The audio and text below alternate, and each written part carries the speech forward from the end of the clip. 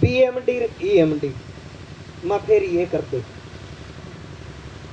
शुरुआत इन तक कर दे फिर तो उनने ये सारी चीज़ नोट कर ली थी। एमडी साहब ने दूसरी बैठक थी, उस टाइम पे बाहर जाना पड़ गया। सारी बातचीत हुई।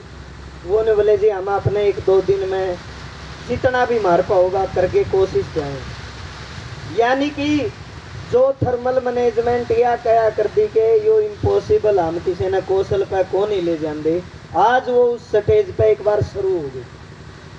संगठन जब तक नहीं मानेगा, जब तक या दरी नहीं नहीं कहोगी कि आज या दरी ठा लो।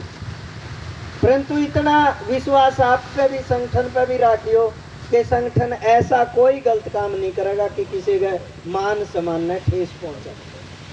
कोई भी फैसला होगा, सबकी सहमति तय सबके विचार तय, सब कुछ तय करके लिया जाएगा कोई भी फैसला अकेला नहीं होगा।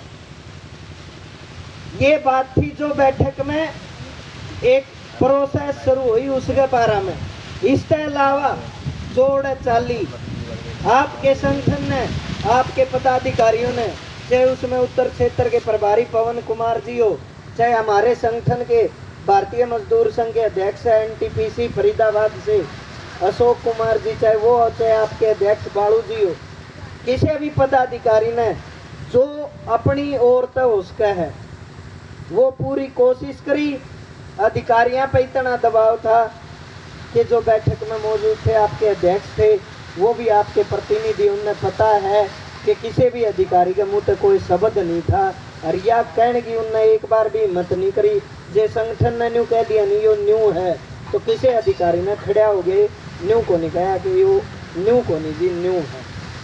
मान लो जो आपके तरक थे, उस तरक पे वो बातचीत करने पे बिल्कुल भी, मान ले, सहज नहीं दिखे।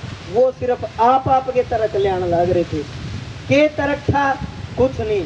बालू जी ने स्पष्ट कह दिया था, आपने कोई तरक ते मतलब नहीं, कोई कर्मचारियाँ ते मतलब नहीं। किसी ते मतलब नहीं, आपने मतलब है बड़ी बड़ी टेंसी जोन सी मेज के नीचे को सीधी कुर्सी पाओ ये बात आपके संगठन ने, अधिकारियों के बीच में कही, पवन जी ने कहा, चलो आपने डाटा नहीं चढ़ाना था नहीं चढ़ाया परंतु आप लोग जब वो वर्क एक्टिविटी का टेंडर है, जब वर्क एक्टिविटी का टेंडर है तो आपने ये लेटर कैसे निकाल दिया कि उस थर्मल में अठारह सौ आदमी काम करे? जब किसी ने न्यू को नहीं बेरा कि मैन पावर कौन है वर्क एक्टिविटी का मतलब है एसएलए का मतलब है सर्विस लेवल एग्रीमेंट के सर्विस का काम करवाना हमने, उसमें न्यू नहीं बेरा कि सी ने पाँच आदमी चलावागे एक दस चलाओगे, एक पंद्रह चलाओगे ए ने दो चलाओगे, एक चार चलाओगे। जब आपका टेंडर वर्क एक्टिविटी का है तो आपने मैन पावर शो करके ये पंद्रह सौ आदमी आएँगी जो फैमिली आईडी कौशल में चढ़ा दी, इस वजह से आपने पता कितना नुकसान है?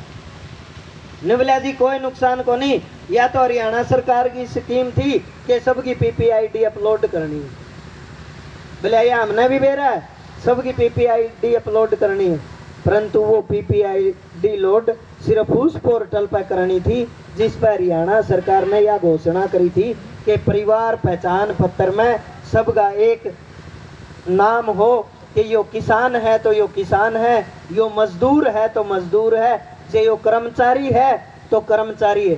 परंतु आपने इनकी ID H K R N में अपलोड कर दी। उस वजह से के नुकसान हो गया। फ़ायदा तो करंता आपका दूर है। फ़ायदा के बारे में तो आप सोच नहीं सकते। क्यों नहीं सोच सकते? पवन जी ने स्पष्ट किया कि आप सिर्फ़ ठेकेदारों की गुलामी करना जानते हैं। आपको सिर्फ़ पैसों से प्यार है। आपको उन कर्मचारियों या आप कहो तो उन मजदूरों के बारे में कोई चिंता नहीं है। अगर आप उनकी चिंता करते तो आप उनको कौशल में चढ़ाते, क्योंकि कोई कौशल परमानेंट नहीं है। ना कौशल में कोई परमानेंट जॉब। आड़े सिर्फ़ इतना है कि जो ठेकेदार मजदूरों का शोषण करने लग रही है, वो शोषण बंद हो जाएगा। परंतु चलो आपने डाटा कौन चढ़ाया? आपने वो कौशल में कौन लिए? परंतु आपने जो ये फैमिली आईडी चढ़ा दी, इन तय उन कर्मचारियों के के लात लगी है, उसके बारे में आप सोच भी कौन सको? नबलिया जी, ऐसा कुछ नहीं, हमने किसी का कुछ बंद नहीं किया।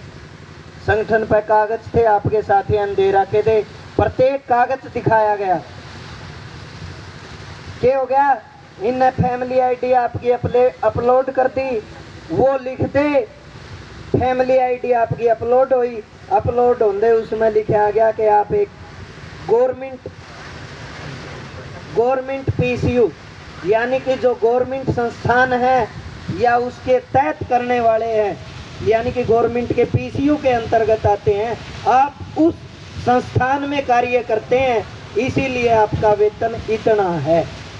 और वो वेतन दिखा दे किसी का राशन कार्ड कट गया किसी की माँ की तनख्वाह कट गई किसी के बापू की तनख्वाह कट गई आपने सिर्फ़ उन आदमियों के रोज़गार नहीं छीना जो उनतीस दिन तक धरना पे बैठे। आप लोगों ने उनके राशन कार्ड कटवा दिए। आप लोगों ने उन गरीब लोगों के माँ बापों की तनख्वाह कटवा दी। ये सारी बात हुई तो जो उनके एमडी थे या डायरेक्टर जो भी उड़े बैठे थे ने बोले जी, ये चीज़ हमारे नॉलेज में को नहीं हम तरवा देंगे इस चीज़ ने। माजीब तरवाना को नहीं। बोले और इब तो मैं इसने आगे बढ़ाना है। जो आपने अपलोड कर दिया इसका हमने ज्वाइनिंग लेटर दो।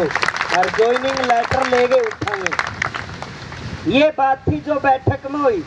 उसके बाद में परसों आपने बेरा है कि प्रदेश की बैठक हुई थी। उसमें जो फैसले लिए गए, वो उसका काम है सरकार का के करेगी। हमारा काम था, बातचीत खातर बुलाए, जाए क्योंकि बात सुनांगे जदे हमने नहीं बेरा पटेगा, ये कितने कागा बढ़े और उनने भी नहीं बेरा पटेगा कि ये कड़े तक जा सके है।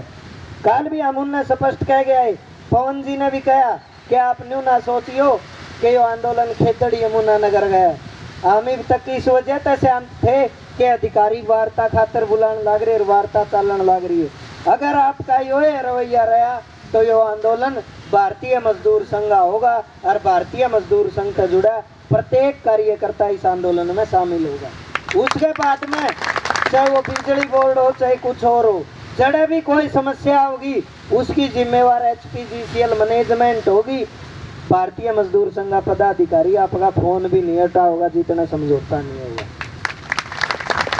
तो साथियों, इसी कड़ी में संगठन ने फैसले लिए थे परसु दो उनमें तो एक फैसला यो है कि जो अपना पानीपत थर्मल है आप लोगों की जागरूकता देख गए वो लोग भी जागरूक हुए। दो बैठक करके आए उन कल रात ने भी लगातार साढ़े ग्यारह, बारह बजे तक आड़े बैठा था मैं। उनके फ़ोन पर फ़ोन आओ थे सवेरे पहले फिर शुरू हो गए। इब उनके लेटर तैयार करने लग रहे हैं। आज उनका लेटर दे देंगे। अगर सरकार अगले एक दो दिन में बातचीत करने के मूड में ना आई तो अगले दो दिन में पानी पत्थर मल भी आपके समर्थन में धरना पाऊँगा उन साथियों ने भी कौशल में शामिल होना है। उसके बाद में अगला फैसला के लिया गया। वो फैसला आप पे डिपेंड करेगा कि आप उस पर कितने खरे उतरोगे। अगला फैसला लिया गया कि हमारा आज उनतीसवां दिन बिल्कुल शांति प्रिय तीसवा दिन बिल्कुल शांति प्रिय तरीका से बैठे हैं। इस टेंट में आ जा हाँ बग जा हाँ। किसी ने हमारी हलचल का कोई पता नहीं। मीडिया आगे भी फ़ोन आवे। कि आप कुछ नया नहीं करते।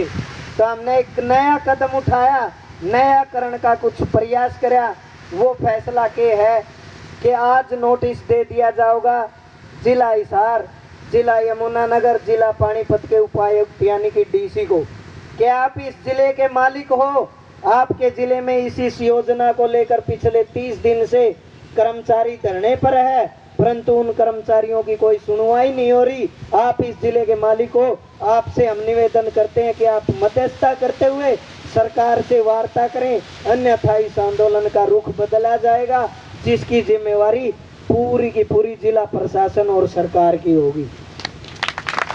आज ये नोटिस जाओगा उसके बाद में क्या फैसला लिया गया है कि 30 महीने जितने भी कर्मचारी आड़े हैं, सारे कर्मचारी वो प्लस में जो भी जितने लिहाज के, आपका चाचा, भाई, भतीजा, कोई भी परिवार का सदस्य या गाँव के लोग, जितने भी आज के, उतने ज़्यादा तीस महीने नौ बजे इकट्ठे हो गए इस खेतर धरना पे।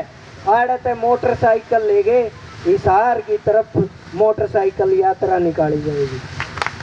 वो यात्रा खेतड़ थर्मल से क्रांतिमान पार्क हिसार में जाएगी फुहारा चौक पे। और वहाँ पे सारे मोटरसाइकिल खड़े करके वहाँ पे आपके हिसार, जींद उन जिलों की ड्यूटी लगाई गई है। वो साथी भी आपको हिसार, जींद, भिवानी, फतेहबाद के साथी यहाँ, वो अलग अलग थर्मलों पे ड्यूटी लगाई गई है। वो साथी भी पार्क में पहुँचेंगे। हम सभी इकट्ठे होकर क्रांति मान पार्क से डीसी कार्यालय तक पैदल मार्च निकालेंगे। और वहाँ पे उपायुक्त महोदय को हमारी समस्या के बारे में अवगत करवाया जाएगा और ये कहा जाएगा कि उपायुक्त के नाते आप इस ज़िले के मालिक हो, हमारी इस समस्या का समाधान करवाओ। नहीं तो अगर आपके ज़िले में किसी भी प्रकार की कोई कानून व्यवस्था बिगड़ती है या किसी अन्य प्रकार की कोई घटना होती है तो उसकी जिम्मेवार आप हो गए, संगठन नहीं होगा। तो साथियों पानीपत के साथी संगठन बिठाने का काम करेगा, वो बैठ जाएँगे। बाकी तैयारी भी संगठन अपने स्तर पर सारी करण लग रहे मेरा आपसे निवेदन है, दो दिन कहा था,